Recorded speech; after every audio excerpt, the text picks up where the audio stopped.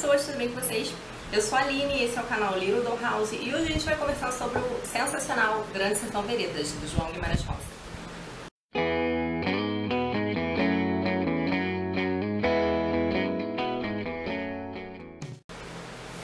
Bom, Grande Sertão Veredas foi publicado em 1956, o Guimarães Rosa era um autor mineiro, né, que foi diplomata e que conhecia muitas línguas, né, era uma pessoa de uma inteligência assim bem pronunciada e tinha um domínio muito grande de idiomas. Eu li esse livro com a intenção de participar do fórum entre pontos e vírgulas, mas eu acabei não dando conta do prazo e eu vou explicar por quê. Esse é um romance que conta a vida do jagunço Riobaldo, né? Então fala um pouquinho da sua infância e também de como ele virou jagunço né? É um livro narrado pelo próprio é, Riobaldo, já idoso. Ele conta essa história para um outro interlocutor que a gente não sabe quem é, uma pessoa que, que ele trata respeitosamente. E ele vai contando, então, é, da sua, de como, como aconteceu para ele entrar né, na vida de jagunço, de, desse período né, do seu cotidiano, enfim, algumas questões filosóficas que o perturbavam e do seu relacionamento com um outro jagunço que era muito amigo seu, que é o Diadorim.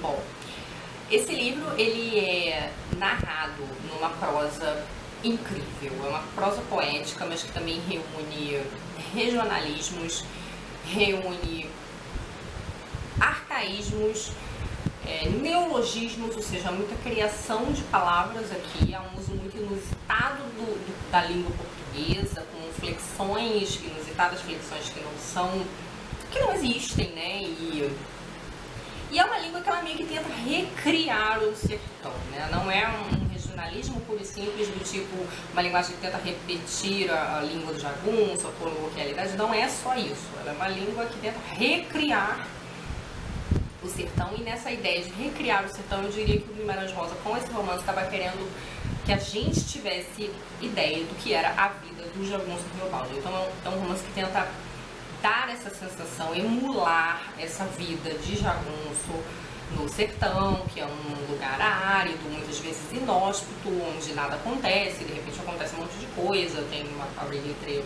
grupos de, de, de jagunços rivais, né? Então, assim, é um romance que, do ponto de vista do ritmo, é um tanto errático. Né? Ele não tem muito. É, ele engata em alguns momentos, em outros ele é mais lento um pouquinho. Isso certamente contribuiu para minha lentidão na leitura, né? Porque é um livro em que, do início, principalmente, não acontece muita coisa.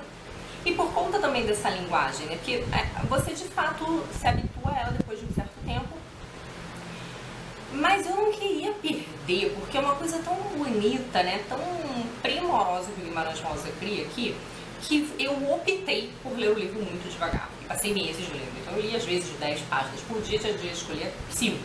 Tinha dias que eu não lia nada. Então eu gostei de, de degustar esse livro bem lentamente, para tentar perder o mínimo possível dele.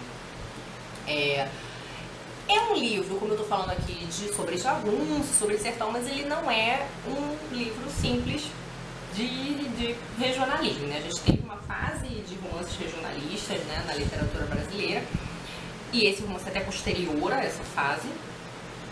Mas é um romance que vai tratar muitas questões universais. Ele toma o jagunço e o sertão como para partir a partir deles pensar é, o universal. Então é até uma frase do próprio romance, né? O sertão é o mundo, né? Então é, o, muitas questões aqui estão sendo discutidas pelo Rio Baldo, mas que são, não são questões típicas do sertão. Então ele tem ele está sempre retornando para certas questões, por exemplo, a existência de Deus e do diabo. E esse é um romance sobre paradoxos, né? um romance sobre ambiguidade, sobre essa contraditoriedade. Então, por exemplo, o Rio Paulo ele está sempre, ele tá sempre dividido entre a razão e a fé. Então, essa dúvida sobre a existência de Deus e do diabo é um negócio que consome muito ele. É, ele também tem uma, uma relação, essa relação que ele tem com outro jagunço de Adorim, é uma relação meio que de almas gêmeas, né? Então eles são relação amorosa que não se concretiza, mas ele também quer se casar com a Otacília, né? O sonho, muitas vezes o Bilbaldo fica falando, é, eu vou largar já a mensagem, e vou me casar, e vou ter família, não sei o quê. Então tem essa, contrari essa contraditoriedade da Otacília e do Diadorim. E tem essa oposição também do vida de jagunço largar a vida de jagunço. Inclusive, o, o Leobaldo, ele está sempre envolto com questões, é, é, né, com uma situação de acabar com a jagunçagem também. Né? Então ele é jagunço, mas ele também tem... Enfim, fica sempre essa divisão, essa ambiguidade. E uma outra questão que ele sempre retorna é da vulnerabilidade né, da vida, do perigo de viver. Então ele está sempre falando que viver é muito perigoso. Ele sempre volta para essa frase, porque viver é um negócio muito perigoso. Então ele está sempre, ele está falando dessa vulnerabilidade das pessoas, desse perigo, de uma certa forma, de, sertão, né? Do, do homem no sertão.